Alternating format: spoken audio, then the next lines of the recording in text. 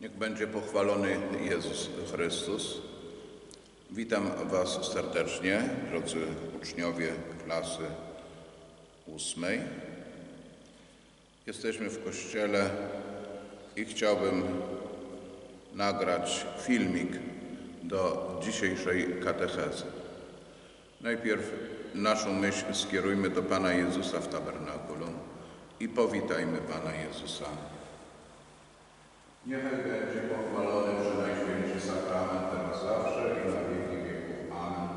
Niechaj będzie pochwalony Przenajświętszy Sakrament teraz zawsze i na wieki wieków. Amen. Niechaj będzie pochwalony Przenajświętszy Sakrament teraz zawsze i na wieki wieków. Amen. Odmówmy pacierz. W imię Ojca i Syna i Ducha Świętego. Amen. Ojcze nasz, któryś jest w niebie, święcie imię Twoje, przyjdź królestwo Twoje, bądź wola Twoja jako w niebie, tak i na ziemi. Chleba naszego powszedniego daj nam dzisiaj i odpuść nam nasze winy, jako i my odpuszczamy naszym winowajcom. I nie wódź nas na pokuszenie, ale nas zbaw ode złego. Amen. Zdrowaś Maryjo, łaski pełna Pan z Tobą, błogosławionaś Ty między niewiastami i błogosławiony owoc żywota Twojego Jezus. Święta Maryjo, Matko Boża, módl się za nami grzesznymi, teraz i w godzinę śmierci naszej. Amen. Wierzę w Boga, Ojca Wszechmogącego, Stworzyciela nieba i ziemi i w Jezusa Chrystusa, Syna Jego jedynego, Pana naszego, który się począł z Ducha Świętego, narodził się z Maryi Panny, umęczył pod Pąckim Piłatem, ukrzyżowan, umarł i pogrzebion. Wstąpił do piekieł, trzeciego dnia zmartwychwstał, wstąpił na niebiosa, siedzi po prawicy Boga Ojca Wszechmogącego, stamtąd przyjdzie sądzić żywych i umarłych. Wierzę w Ducha Świętego, w święty Kościół powszechny, świętych obcowanie, grzechów odpuszczenie, ciała zmartwychwstanie, w żywot wieczny. Amen. Jam jest Pan Bóg Twój, którym Cię wywiódł z ziemi egipskiej z domu niewoli. Pierwsze nie będziesz miał bogów cudzych przede mną. Drugie nie będziesz brał imienia Pana Boga Twego nadaremno. Trzecie pamiętaj, abyś dzień święty święcił. Czwarte czci ojca i matkę swoją, abyś długo żył i dobrze Ci się powodziło na ziemi. Piąte nie zabijaj, szóste nie cudzołóż. Siódme nie kradnij, ósme nie mów fałszywego świadectwa przeciw bliźniemu swemu. Dziewiąte, nie pożądaj żony bliźniego swego. Dziesiąte, ani żadnej rzeczy, która jego jest. Teraz modlitwa do anioła stróża. Aniele Boży, stróżu mój, Ty zawsze przy mnie stój. Rano, wieczór, we dnie, w nocy, bądź mi zawsze ku pomocy, strzeż duszy i ciała mego. Zaprowadź mnie do żywota wiecznego. Amen. Za zmarłych wieczne odpoczywanie racz im dać, Panie, a światłość wiekuista niechaj im świeci na wieki wieków. Amen. Wieczne odpoczywanie racz im dać, Panie, a światłość wiekuista niechaj im świeci na wieki wieków. Amen. Wieczne odpoczywanie racz im dać, Panie, a światłość wiekuista niechaj im świeci na wieki wieków. Amen. Ponieważ jesteśmy tutaj przed Najświętszym Sakramentem, Łatwo nam myśl przenieść do tabernakulum, gdzie Pan Jezus pod postaciami eucharystycznymi przebywa, postacią chleba. I zaprośmy Pana Jezusa do naszego serca w aktem Komunii Świętej Duchowej. Pisaliście to zadanie, mówiliśmy dużo o Komunii Świętej Duchowej. Teraz wzbudzamy akt Komunii Świętej Duchowej zapraszamy Jezusa do naszego serca. Jest na to chwila ciszy.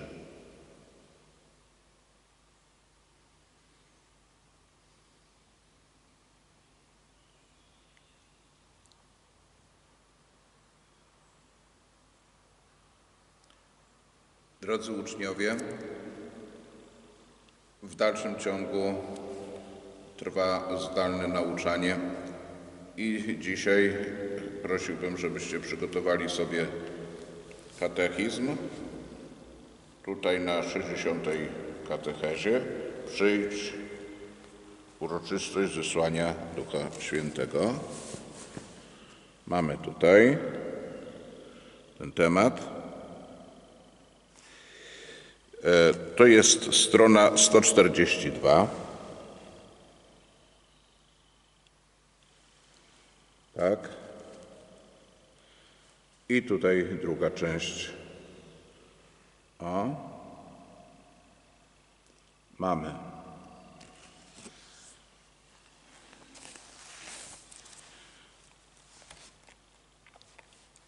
Ja tu, żeby iść za tokiem myśli, przygotowałem Wam taką planszę z nagraniem, e, planszę z, z tekstem katechezy dzisiejszej.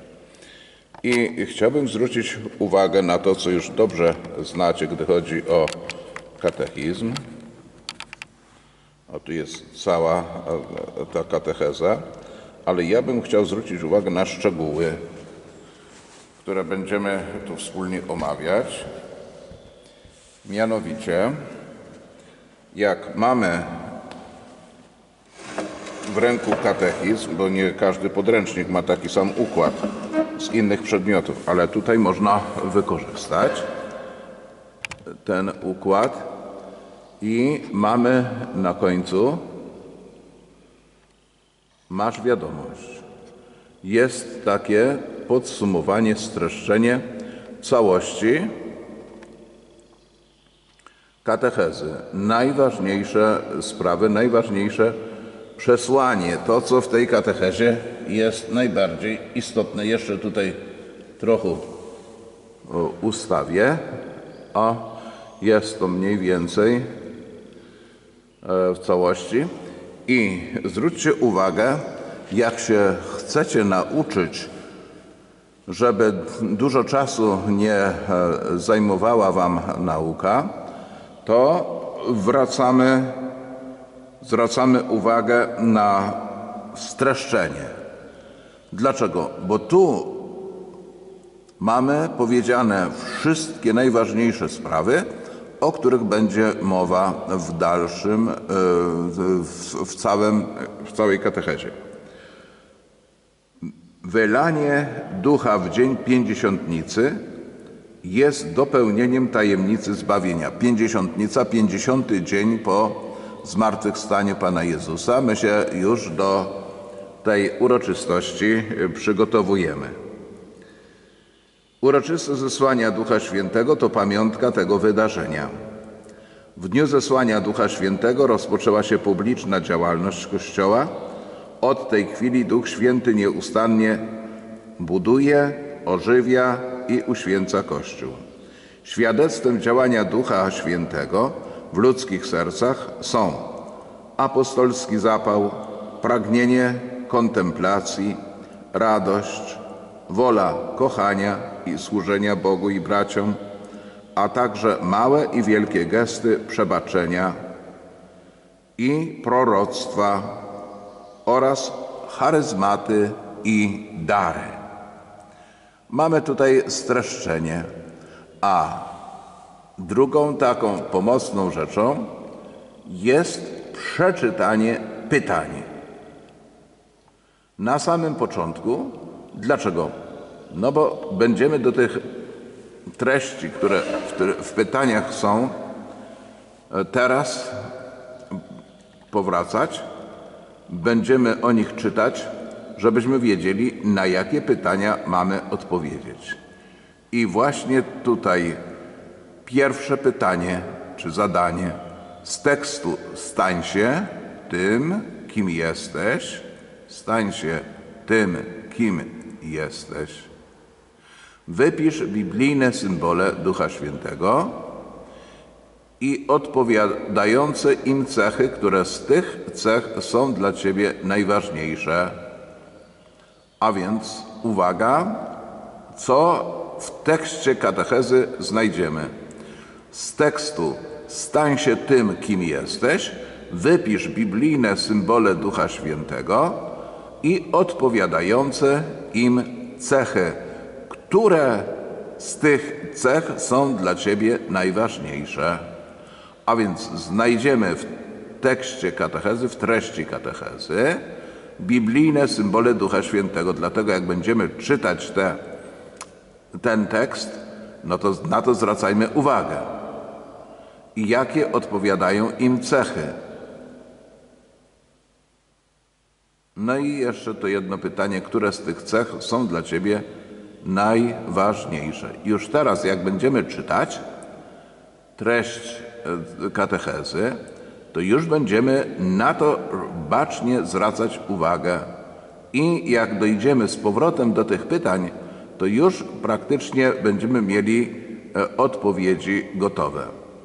Drugie pytanie: scharakteryzuj człowieka, który otwiera się na działanie Ducha Świętego. Podaj przykłady takich osób z historii lub współczesności. Scharakteryzuj człowieka, który otwiera się na działanie Ducha Świętego. Podaj przykłady takich osób z historii lub współczesności. A więc tutaj autor chce, żebyśmy pomyśleli, rozglądnęli się, e, wrócili myślą do tych e, znanych nam już wydarzeń, opisów i żebyśmy już sami tutaj e, znaleźli przykłady osób, którzy byli otwarci na działanie Ducha Świętego.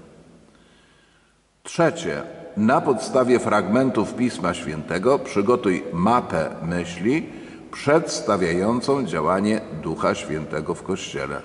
A więc tutaj, tak jak w każdej katechezie, znajdziemy teksty Pisma Świętego, które są specjalnie do tego tematu przywołane.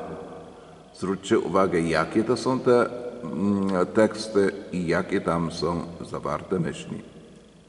Czwarte, przyporządkuj kolejnym hasłom mapy myśli określenia Ducha Świętego z sekwencji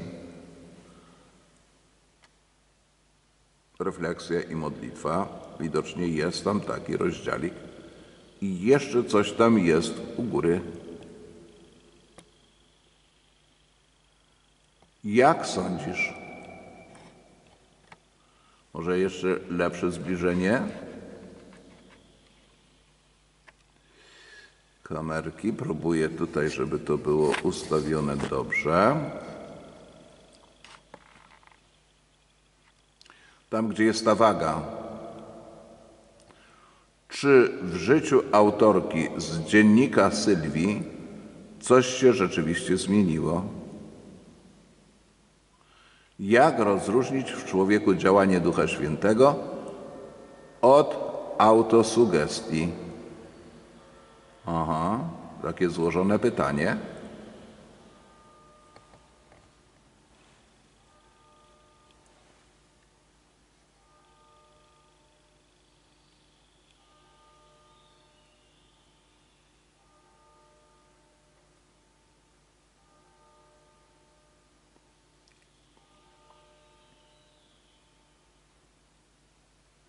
Czy wyliczyliście, ile uderzeń, która godzina jest?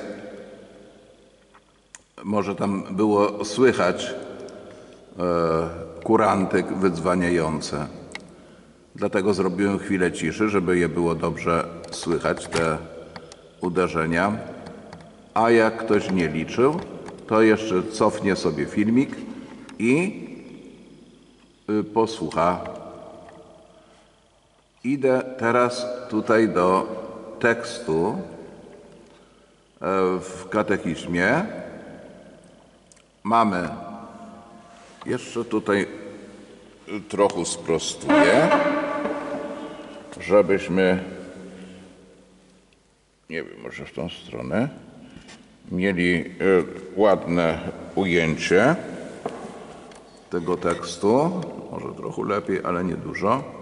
Wszystko jedno. Już tutaj macie przed sobą katechizm, to y, nie ma problemu. Mamy tam obraz Jarosława Protsiw, zesłanie Ducha Świętego, Ukraina, Lwów. A więc widzimy, y, ikona to jest, ikona, tak. Na tronie Matka Boża, e, apostołowie, nad ich głowami e, widzimy płomyki ognia, symbol Ducha Świętego i e, osoba, która trzyma, w tej chwili nie wiem, co w tym ręku, czy w tym kole u stóp Matki Bożej. To nie jest Pismo Święte, to jest, nie wiem, nie wiem w tej chwili, co to jest. Musiałbym dokładnie tą ikonę przeanalizować, ale można do internetu e, się odwołać, kliknąć sobie zesłanie Ducha Świętego Jarosław Protsiw. Jeżeli to jest publikowana ikona, to już na pewno będzie e, w internecie. Ale jeszcze niżej mamy takie symbole. Tutaj mamy jeden. Przyglądnijmy mu się. Postać Ducha Świętego przedstawiana jest często jako gołębica. Zresztą takie przekazy znajdujemy, na podstawie których można taki symbol stworzyć. Trochę ta kamerka jest pod kątem. Jeszcze tak zrobimy. O, tu już ładniejszy kwadrat wychodzi. Tak. Tu by trzeba było podnieść. Zaraz to zrobimy. A może z tej strony lekko obniżę, a to się podniesie. Dobrze. Już. Jest. Drugi obraz mamy wiatr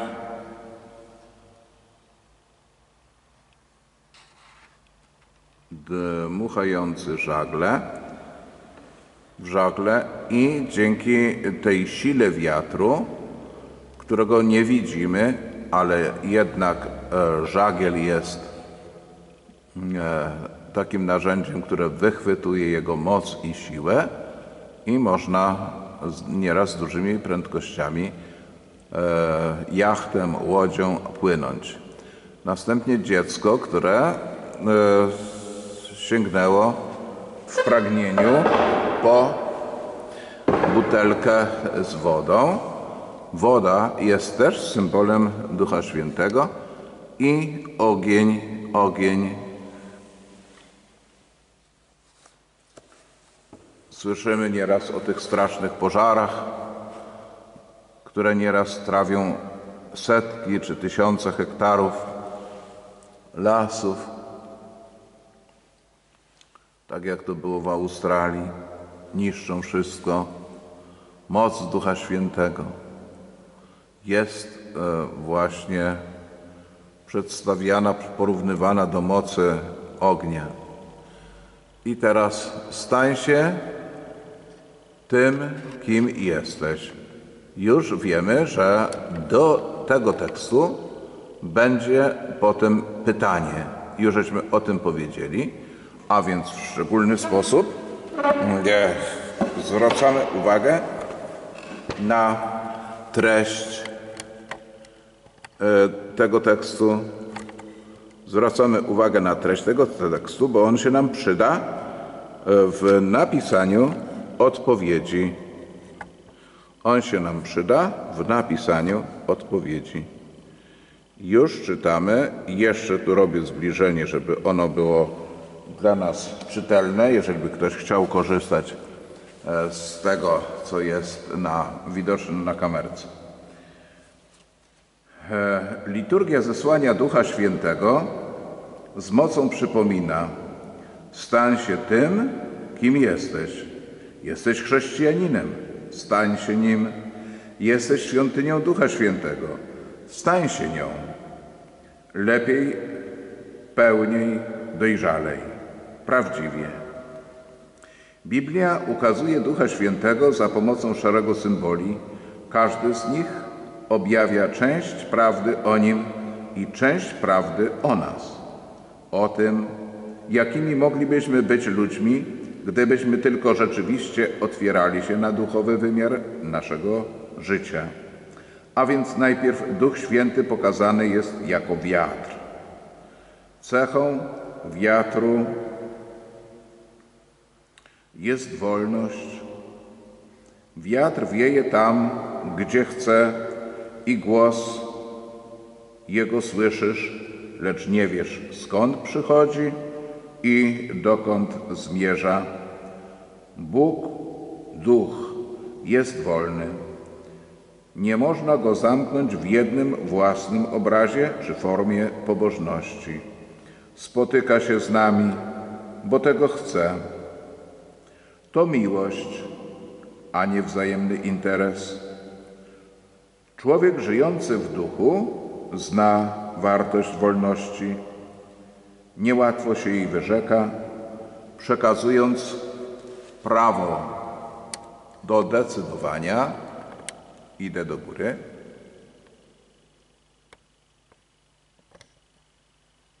o sobie komuś innemu. To znaczy, że jest człowiekiem sumienia i nie boi się odpowiedzialności. Dalej, Duch Święty pokazywany jest w Biblii jako ogień. Ogień to symbol miłości. Być może jedyne pytanie, jakie warto sobie zadać, brzmi: czy kocham tego konkretnego człowieka i w jaki sposób powinienem to wyrazić? Kolejnym symbolem Ducha Świętego jest woda. Podstawową cechą wody jest pokora. Potrzebujemy wody niemal do wszystkiego, ale jej nie zauważamy, pijąc kawę. Nie mówimy, że pijemy kawę z wodą. Woda czyni dobro absolutnie bezinteresownie, anonimowo, pozostaje na drugim planie lub wręcz w ukryciu. To cecha prawdziwych uczniów Jezusa. Gdy dajesz jałmużnę, nie trąb przed sobą. Duch Święty jest także olejem olejem radości. Radość to bardzo ważna cnota, tak ważna, że w Kościele starożytnym smutek zaliczano do zbioru grzechów głównych. Już przesunę tutaj, żebyśmy mieli też na ekranie treść. Tak, do zbiorów grzechów głównych. Słyszysz? Smutek. Trochę się gdzieś zagubiłem w tekście, już idę. Olej mówi też o namaszczeniu, którego celem jest uświęcenie. Uświęć znaczyło pierwotnie uświęcić, znaczyło pierwotnie oddzielić, odróżnić, Namaszczenie decyduje więc o jakiejś inności. Czy potrafimy być inni? Odróżniamy się jeszcze czymkolwiek od świata? Czy nie robimy wszystkiego, by się do niego upodobnić? Najpopularniejszym wszakże symbolem Ducha Świętego jest gołębica. W Biblii to symbol dobrowolnej ofiary. Duch Gołębica jest Bogiem ofiarnym, Bogiem, który się nie oszczędza, przeciwnie, dla człowieka się wyniszcza. Gotowy jest nawet dla niego umrzeć. To Bóg, który od siebie wymaga znacznie więcej niż od ludzi. Bóg, który oddaje własnego Syna. Często myślimy o nim, że jest Bogiem zakazów, ograniczeń i wyrzeczeń, złodziejem okradającym nas ze szczęścia. Duch gołębica stoi na straży poprawnego obrazu Boga. Musimy wiedzieć, kim jest Bóg, by zrozumieć w pełni siebie, stworzonych na Jego podobieństwo. To właśnie życie w duchu, w Bogu ofiarnym decyduje o tym, że wolimy należeć do grona tych, którzy cierpią, niż tych, którzy zadają cierpienie. Smucić się raczej, niż stawać się powodem smutku. Raczej doznawać niedostatku, niż kraść. Raczej oddać, gdyby zaszła taka potrzeba, własne życie, niż zabić inne, inne życie. I to jest artykuł, gdzieś się pokazał w Tygodniku Powszechnym, w gazecie, księdza Grzegorza Rysia. Autor, który tą katechezę układał, zachęca nas w ten sposób i pragnie przypomnieć, że o tu mamy tutaj na podstawie ksiądz Grzegorz Ryś, Tygodnik Powszechny, numer 23 z 2003 roku jest podany numer e, tej gazety. E, Kochani, w różnych tekstach, nie tylko w katechizmie o Duchu Świętym znajdziemy treści. I teraz słyszeliśmy, że znajdziemy katechizmie teksty Pisma Świętego o Duchu Świętym. I właśnie teraz to się tutaj dokonuje. Następnie są te teksty ukazane, wypisane z dziejów apostolskich, rozdział pierwszy, e, werset 8a, tu u dołu, a u góry, u góry e, w tej samej kratce.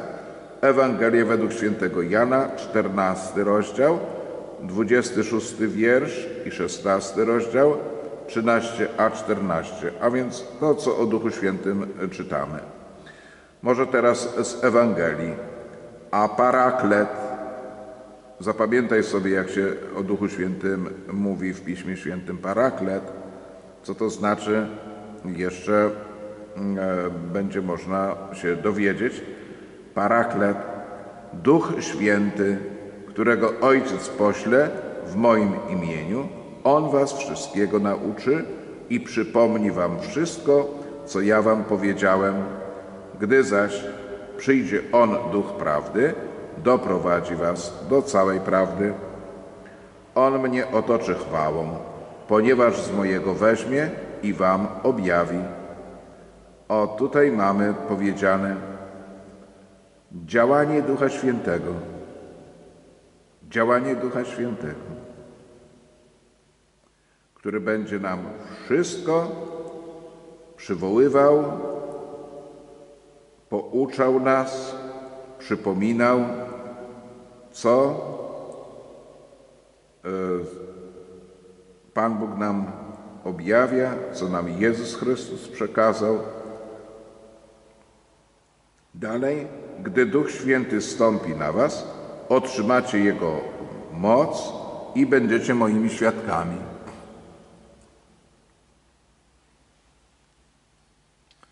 No, bierzmowanie jest ważnym sakramentem, bo właśnie taką moc Ducha Świętego otrzymamy i będziemy świadkami Jezusa Chrystusa. Mocą Ducha Świętego. Przybliżam kolejny tekst na temat owoców Ducha Świętego, tak żeby się nam tu zmieściło. Owocem zaś ducha jest miłość, radość, pokój, cierpliwość, uprzejmość, dobroć, wierność, łagodność, opanowanie. Popatrzcie, je, jedno zdanie. ale jakie bogate w treść. Owocem zaś ducha jest miłość, radość, pokój, cierpliwość, uprzejmość, dobroć, wierność, łagodność, opanowanie. Święty Paweł wylicza te przymioty, to czym skutkuje obecność Ducha Świętego w nas w liście do Galatów, rozdział 5, 22 do 23a. Dalszy tekst. Nikt też nie może powiedzieć bez pomocy Ducha Świętego. Panem jest Jezus. Różne są dary łaski, lecz ten sam Duch. Wszystko zaś objawia się Duch dla wspólnego dobra. Przepraszam, wszystkim zaś objawia się Duch dla wspólnego dobra. Wszyscy bowiem w jednym duchu zostaliśmy ochrzczeni, aby stanowić jedno ciało. Znowu w pierwszym liście do Koryntian święty Paweł mówi w ten sposób o Duchu Świętym. W liście do Rzymian ciągle święty Paweł. Podobnie także Duch przychodzi z pomocą naszej słabości. Gdy bowiem nie umiemy się modlić tak jak trzeba, sam Duch przyczynia się za nami. I jeszcze święty Paweł, a nadzieja zawieść nie może, ponieważ miłość Boża rozlana jest w sercach naszych przez Ducha Świętego, który został nam dany. I teraz schodzimy niżej z dziennika Sylwii. O, ciekawe. Nie wiem, czy wy prowadzicie te dzienniczki. Ja wam proponowałem, żebyście taki dzienniczek prowadzili, swoje własne spostrzeżenia, myśli, notowali, jakbyście mieli, ale byłaby fajna teraz sprawa z kilku lat taki dziennik e, sobie odtworzyć, popatrzeć, ale nic nie szkodzi, na, nic nie, nie, nie stoi na przeszkodzie. Jeżeli nie prowadziliście, to od dzisiaj zacznij. I jak pójdziesz znowu do szkoły średniej, e, za parę lat popatrzysz sobie, jak działał Duch Święty w Twoim życiu. E, Sylwia w dzienniku pod 25 kwietnia napisała nawet, że to było w środę, a dzisiaj mamy co, też środa, nie? Dziwny ten dzień jakiś, niby nie zdarzyło się nic nadzwyczajnego, a jednak człowiek czuje się tak dobrze. Zaczęło się nieciekawie, test z matmy. No widocznie nie bardzo lubiła tej matematyki, skoro, skoro tak pisze. Jak zwykle niewiele umiałam. Napisałam dwa zadania na pięć, ale czy to wystarczy, żeby zaliczyć? Jasne. Uczyłam się. Zawsze się uczę. I co z tego? Jednak dzisiaj nie było jak zwykle. Nie zjadły mnie nerwy. Potrafiłam myśleć, nawet przypomniałam sobie wzór, który tak długo wkuwałam. Chyba pomogła modlitwa, do której namówił mnie ksiądz. Równy z niego gość. Rozumie człowieka, wysłucha i umie pokazać, co to jest wiara. Potem spotkałam Ankę. Uświadomiłam sobie, że nie rozmawiamy już od miesiąca. Dziwne. Jeszcze wczoraj wydłubałam, wy, wydłu, yy, wydłubałabym jej oczy, a dzisiaj spojrzałam na nią spokojnie. Chyba nawet przez sekundę chciałam się z nią pogodzić. Szybko odwróciłam głowę. Jeszcze boli to, co zrobiła, choć chyba coraz mniej. Po południu było już normalnie, a może nie? Spokojnie jakoś i bez kłótni. No nie, brat znowu ode mnie oberwał, ale szybko mi przeszło i nawet pomogłam mu z tym rysunkiem na plastykę, którym się tak strasznie przejmował. Śmiesznie, ale wtedy chyba zrobiło się jeszcze fajniej. A jak super się razem serial oglądało. Szkoda, że nie zawsze są takie dni. Może powinna modlić się codziennie.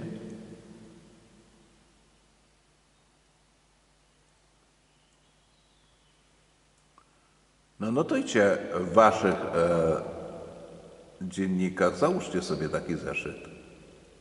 A jak ktoś ma, to kontynuujcie.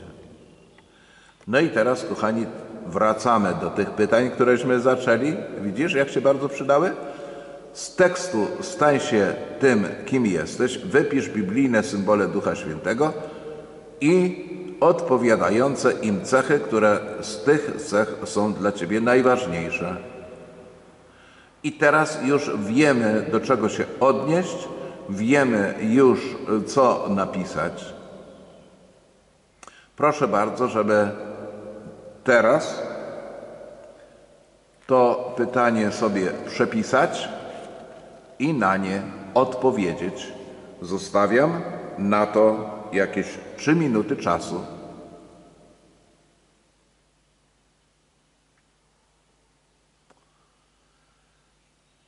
A jeszcze raz przybliżę tutaj planszę, na której są przedstawione dary Ducha Świętego. Wypiszcie, a potem e, znajdziecie sobie chwilę, żeby jeszcze raz na tę planszę popatrzeć. Ja tutaj ukażę, nie będę już mówił, żeby Wam nie przeszkadzać.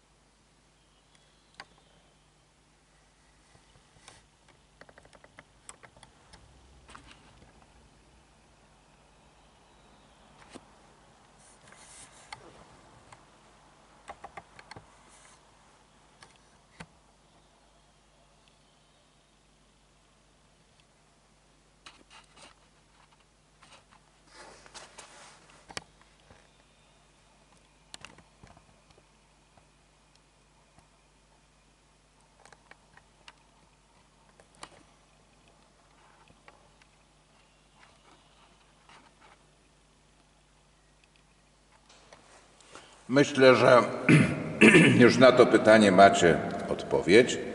Natomiast na zadanie domowe ułóż modlitwę ósmoklasisty, bo gimnazjalistów już nie mamy. My korzystamy z katechizmu, którzy gimnazjaliści mieli. Ułóż modlitwę do Ducha Świętego, taką osobistą. To będzie na zadanie domowe. A tu jeszcze refleksja i modlitwa. 50 dni po śmierci i zmartwychwstaniu Chrystusa apostołowie z gromady wystraszonych nieudaczników stają się wspólnotą mężów pełnych mocy, przestają się bać, stępuje na nich Duch Święty, doznają niezwykłej przemiany. Duch Pocieszyciel napełnia ich odwagą, ożywia ich wiarę, zapala miłość, buduje jedność. Ciebie także chce przemienić. Wszystkie swoje dary chce dać w sakramencie bierzmowania. Przybądź Duchu Święty, ześlij z nieba wzięty światła Twego strumień. Przyjdź Ojcze ubogich, przyjdź dawco łask drogich, przyjdź światłości sumień. O najmilszy z gości, słodka serc radości, słodkie orzeźwienie. Tyś w pracy ochłodą, w skwarze żywą wodą, w płaczu utulenie. Światłości najświętsza, serc wierzących wnętrza, poddaj Twej potędze. Bez Twojego tchnienia, cóż jest wśród stworzenia, jeno cierń i nędzę. Obmyj co nieświęte, oschłym wlej zachętę, ulecz serca ranę. Nagnij, co jest harde, rozgrzej serca twarde, prowadź zabłąkane. Daj Twoim wierzącym, w Tobie ufającym, siedmiorakie dary. Daj zasługę męstwa, daj wieniec zwycięstwa, daj szczęście bez miary. Jeśli chcesz, czy dostrzegasz działanie Ducha Świętego w Twoim życiu? Ułóż osobną modlitwę do Ducha Świętego i odmawiaj ją w czasie przygotowania się do sakramentu bierzmowania. Przygotuj domowe świętowanie z okazji liturgicznej uroczystości zesłania Ducha Świętego. No weźcie y, ołtarzyk domowy. Teraz już przygotujcie, żeby był związany z, z tematyką Ducha Świętego, umieścić tam te symbole Ducha Świętego, otworzyć teksty Pisma Świętego tam, gdzie o Duchu Świętym jest mowa. Zróbcie to. Bardzo ładnie to Wam podpowiada autor katechizmu. I jeszcze raz, teraz przeczytajmy. Masz wiadomość. Wylanie ducha w dzień pięćdziesiątnicy jest dopełnieniem tajemnicy zbawienia. Uroczystość zesłania Ducha Świętego to pamiątka tego wydarzenia. Pod drugą kropką w dniu ducha, zesłania Ducha Świętego rozpoczęła się publiczna działalność Kościoła. Od tej chwili Duch Święty nieustannie buduje i ożywia i uświęca Kościół. I trzecie, trzecia myśl, świadectwem działania Ducha Świętego w ludzkich sercach są apostolski zapał, pragnienie kontemplacji, radość, wola, kochania i służenia Bogu i braciom, a także małe i wielkie gesty przebaczenia i proroctwa oraz charyzmaty. Kochani, zbliża się koniec już tej katechezy. Ja tu lekko przesunę tę kamerkę. Zrobimy oddalenie tutaj na ołtarz i może w ten sposób. O. Zaraz zobaczę, czy tam się tu gdzieś zmieszczę. Chciałbym Wam udzielić błogosławieństwa na koniec. Dlatego tu podejdę. No, trochę widać. E, Kochani, resztę e, z, e, informacji związanych z bierzmowaniem podam Wam na spotkaniu. Wczoraj byłem w Ostrowie. Omówiliśmy z księdzem proboszczem Józefem, jakie czynności proponowane są tutaj dla naszej grupy, bo będziemy tylko z dwóch parafii i musimy wiele rzeczy podjąć samodzielnie. Tak samo i rodzice, niech przyjdą, to omówimy. Wszystkie te szczegóły związane z bierzmowaniem. Kto jaką funkcję będzie podejmował. No nie bierzemy wszystkiego, bo jeszcze druga parafia weźmie część, ale niektórzy muszą się zaangażować e, w, no, w posługę liturgiczną także w czasie bierzmowania. To o tym powiemy sobie na najbliższym spotkaniu. A teraz przyjmijcie błogosławieństwo. Pan z Wami i z Duchem Twoim. Niech Was błogosławi Bóg Wszechmogący, Ojciec i Syn i Duch Święty. Amen. Niech będzie pochwalony Jezus Chrystus. Życzę miłej pracy z katechizmem, bo dzisiaj właśnie taka jest katecheza. Pracujemy z katechizmem.